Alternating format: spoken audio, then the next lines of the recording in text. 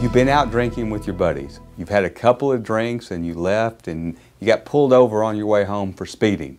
Oh my gosh, what's going to happen to me now? What's going on?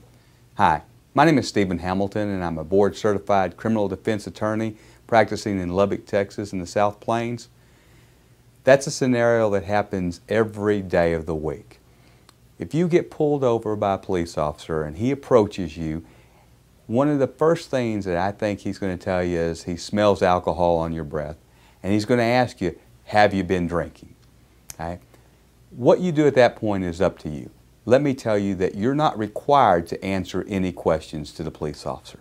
You're not required to tell him what you had to drink, when you had to drink it, where you were coming from.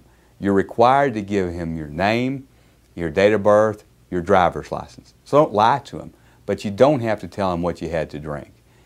If he asks you to get out of the car to do field sobriety test, do you know you do not have to do any field sobriety test? You don't have to let him check your eyes for nystagmus.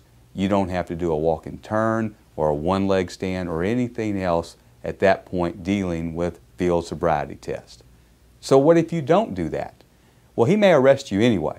And my experience is if they smell alcohol in your breath, you're likely going to jail, whether or not you did any field sobriety tests or not.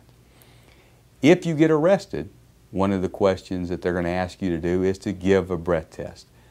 Do you give a breath test?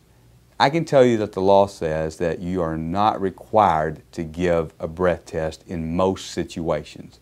Whether you do or not has to be a judgment call that you make. You know what you had to drink.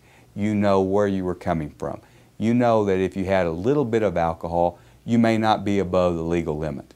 And if you refuse to take the test, you also need to know that if the case is correct, in other words, if certain circumstances apply, they may very well be able to take your blood, either through a warrant or through a mandatory law if you've had prior DWIs, and this is a felony case, if you have a child under the 15 age in the car, or if somebody's been hurt or killed in an accident.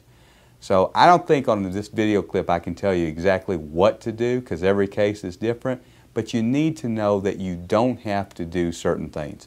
You don't have to tell them what you've had to drink, you don't have to do any field sobriety test, and you have the right to refuse a breath test if that's what you think is best in your interest.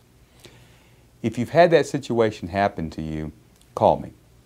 My office number is 806-794-0394. Come in and visit with me.